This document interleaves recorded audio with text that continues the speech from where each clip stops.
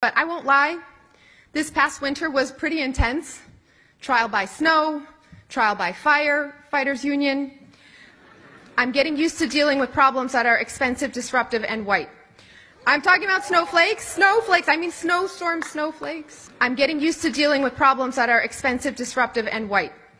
I'm talking about snowflakes, snowflakes, I mean snowstorm snowflakes. Well, ladies and gentlemen, these people just continue to show the world what they really stand for. In today's episode, we're going to be talking about woke Democrats once again after Boston's mayor Michelle Wu has found herself in a lot of controversy after an email was sent by mistake by a member of her staff inviting all city councillors to a holiday party. But the catch is the email and obviously the party itself was only intended for electeds of colour. What is going on? yeah, you can't make it up, can you? And it's hilarious because these Democrats just scream about discrimination everywhere they go, right? We need to stop discrimination, yet they're the ones who are always discriminating and more often than not discriminating against white people, which obviously is completely justifiable, right, guys? You know, it's 2023. It's okay. It's cool. Well, that's a narrative in play. Anyway, wait, white people being discriminated against? Who cares about that one? Yeah, I can guarantee you if it's the other way around, your local Walmart is getting looted the next day. It's interesting how it works, isn't it? But before we carry on with this madness, if you could make sure to leave a like rating. If you're new, hit that subscribe button. We're on the road to 60k. Turn on bell notifications so you never miss a video. Comment on this video, share this video. And let's just get into this. Boston Mayor Michelle Wu plans no white holiday party for councillors. Aide accidentally sent group email invite men only for electeds of colour. The Democratic mayor of Boston has sparked outrage after inviting city councillors to a holiday party intended only for electeds of colour. Michelle Wu's invitation for the December 13th electeds of colour holiday party appeared to have been sent out to all councillors in an error by her aide Denise Dos Santos. Dos Santos followed up the email 15 minutes later, apologizing apologizing for the invite, so not apologizing about the party itself, but the invite. Yeah, I'm done, man. Clarifying that it was only meant for the city six councillors of color. The seven white council members were not welcome. How is this not racist? Right, it's absolutely insane. And then obviously, when leftist liberals see this story, they'll be like, well, white people can't actually experience racism. They can't experience discrimination, which actually reminds me a few years ago, I had a conversation with somebody at a job I was working at where they were trying to tell me white people couldn't experience racism. And within five minutes into the debate, you start to realize how delusional that way of thinking is, and also how delusional people can also be. If this was the other way around, the mainstream media would be covering it the very next minute and wouldn't stop talking about it. But how long is it going to take for them to forget about this one? Probably tomorrow. Probably now. They've probably forgotten about it. They're probably talking about something else.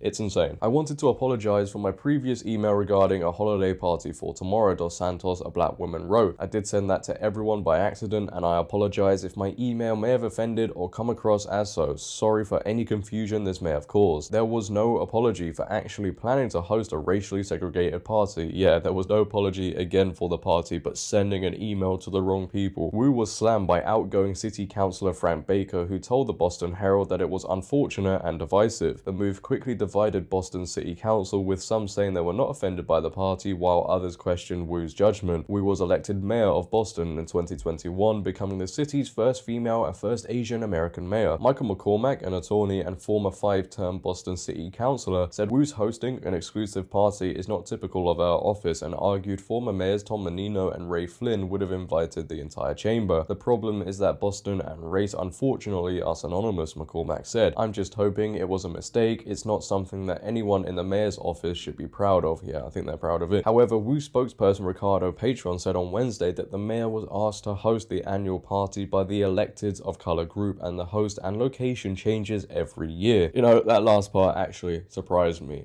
And then I sat there and thought about it for a couple of seconds, and then it hit me. Yeah, I shouldn't be surprised about this. It seems like this party has been going on for years.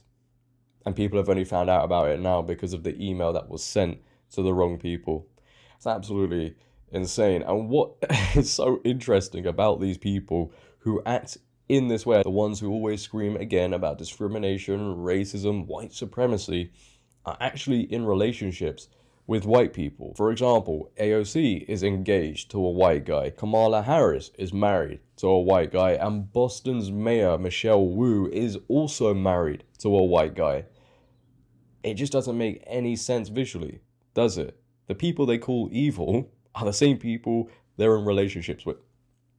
I wonder what the relationship dynamics are like. I imagine Women clearly wear the pants in those ones. But defiant Boston Mayor Michelle Wu arrives to her no whites holiday party despite criticism the Electeds of Color Party is divisive. Unrepentant city leader says she's honored to be part of the group. Speaking alongside Russell Holmes, a Massachusetts state's representative, outside of the event at the city's Parkman House, Wu claimed to members of the media that some of the folks who are concerned might also just not have all the information. Outside the venue, Wu and Holmes defended the No Whites event and said there are countless examples of representation representative groups based on race, with both citing the Congressional Black Caucus in Washington, D.C. as an example. I can understand someone might be confused or worried if certain people weren't being invited at all or were being left out of any type of celebration, but I assure you, everyone on the Boston City Council has got an invitation to multiple types of events and holiday parties, Wu said. The segregated holiday party for electeds of color has been held for years in Boston. Again, it's been held for years. This is just absolute insanity, but came under under scrutiny this year after an email invitation was sent to all 13 members of the city council, only for them to be rescinded from the seven white councillors 15 minutes later. Rep Holmes chimed in during the impromptu press conference. The controversy really should be that this is the first time we've had a woman mayor and a person of color and Asian elected here in the city, he said. Democratic councillor Frank Baker, who was white, disagreed. I do find it divisive, but what are you going to do about it? You don't want me at a party. I'm not going to come to a party, he told WHDH.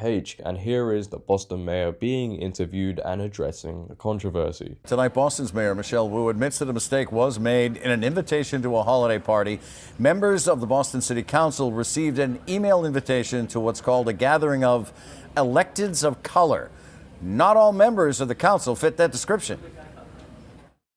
I think we've we've had individual conversations with everyone so people understand that it was truly just a, an honest mistake that went out in, in typing the email field and um, I look forward to celebrating with everyone at the holiday parties that we will have besides this one as well. So um, it is my intention that we can again um, be a city that lives our values and create space for all kinds of communities to come together.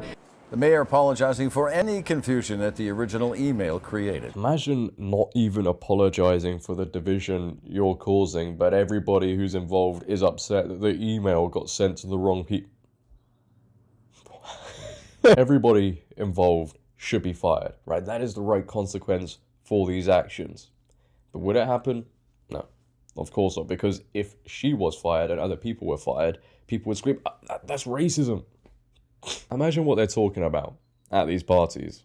Right, imagine the conversations. I would love to be a fly on the. Wait, I don't qualify. I don't tick the box. I wouldn't be allowed in. I'm actually half Indian, so would I qualify? uh, who knows? Who knows?